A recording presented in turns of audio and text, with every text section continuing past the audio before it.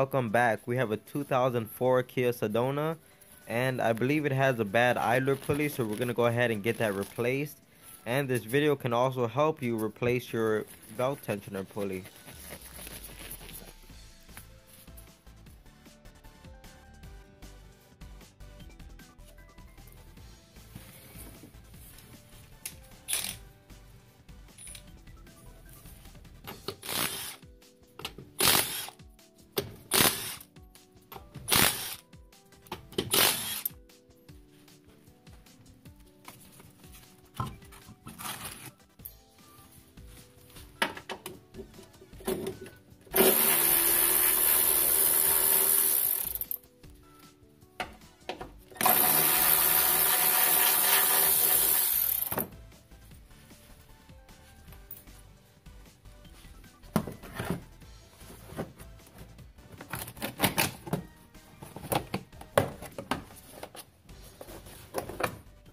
So everything so far is pretty straightforward, nothing too complicated. And right here is the bolt that's going to tighten or loosen the belt tensioner. Okay, so I noticed that the gloves that I'm wearing actually make a lot of noise. I thought it was funny because it actually reminds me of that Seinfeld episode. The one where George puts on those pants and they make a lot of noise as he walks. So I just want to take this time to apologize ahead of time for my noisy gloves. Okay, so back to the repair. First, you want to take the nut off of the pulley, or even just loosen it. Then you could go underneath the pulley and loosen the tensioner bolt.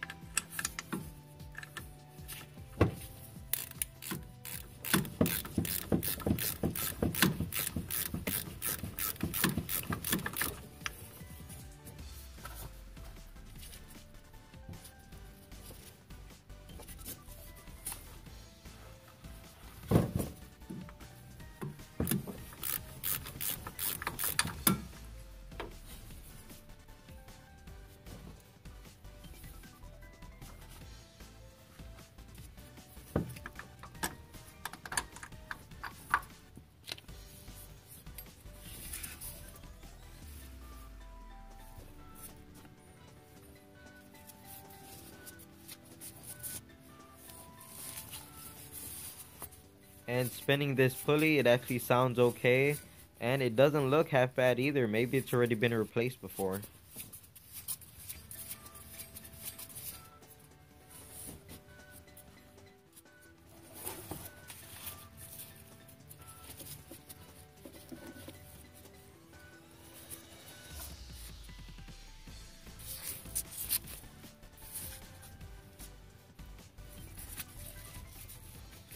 Here I'm just trying to get the belt out of the way so I could get to the idler pulley and spin it and listen to how it sounds.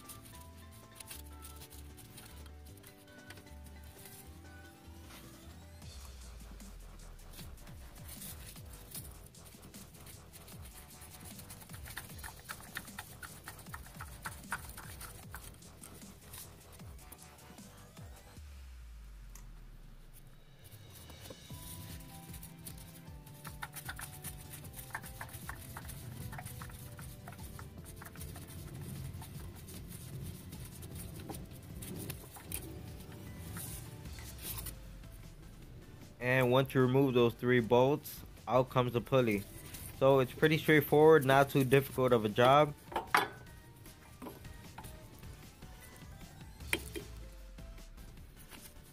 So right off the bat, the pulley doesn't sound good and it's spinning for way too long. There's probably no grease inside of this thing.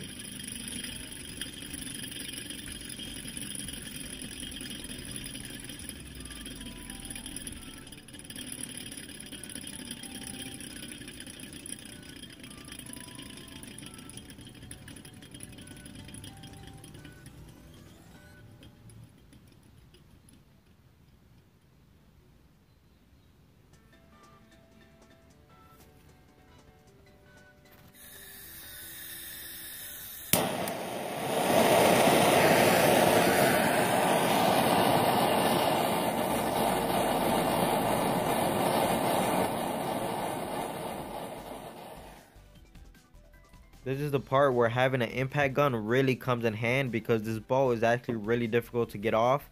And the most important thing is that it is not a normal thread bolt, it's actually reverse thread. So in order to get it off, you want to spin it clockwise.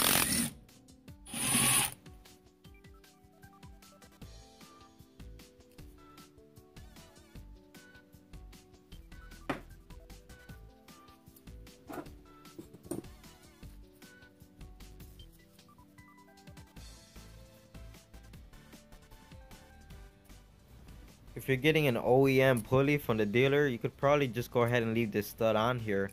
But we're going to be using an aftermarket part, so this whole stud has to come out and it's going to get replaced with new hardware.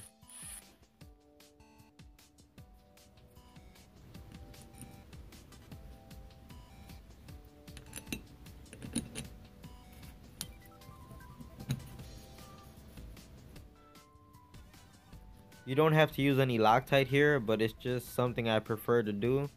So, better safe than sorry.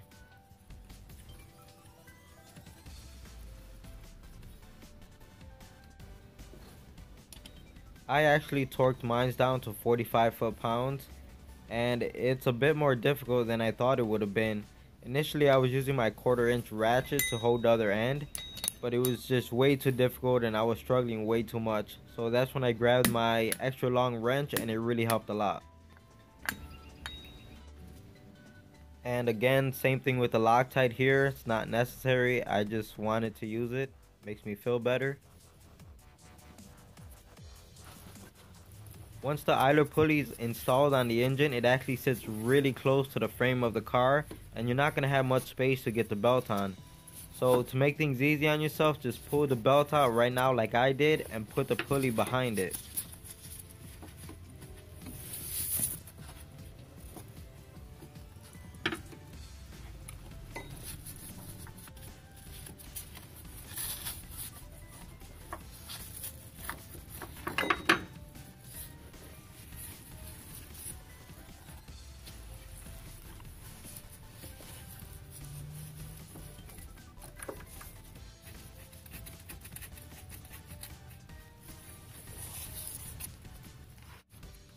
Trying to get this job done you're going to be working in a tight area but me having the camera here recording really doesn't help me at all.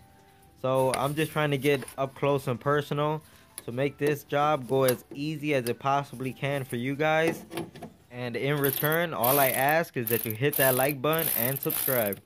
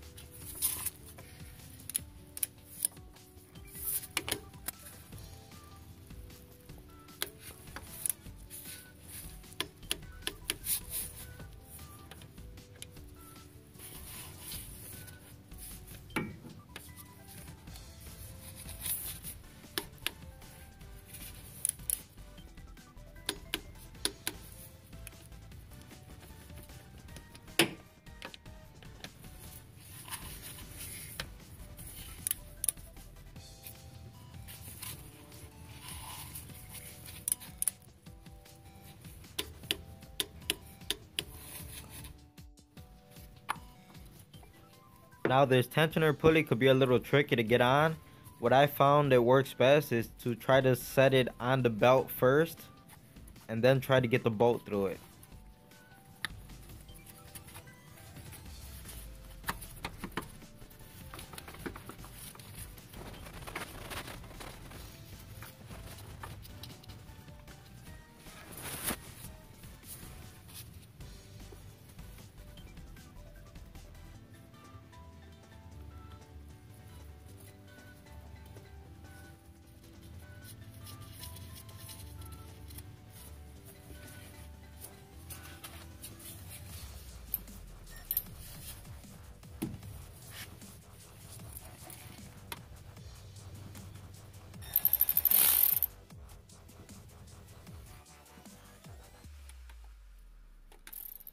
So don't tighten the pulley first. First you want to set the tension and once you get the tension correct then you go ahead and tighten the nut on the pulley.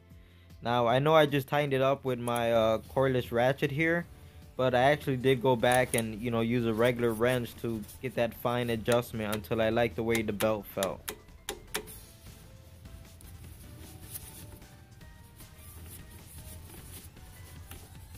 And I have no idea what happened here, but my torque wrench did not want to come off. Go home, torque wrench. You're drunk.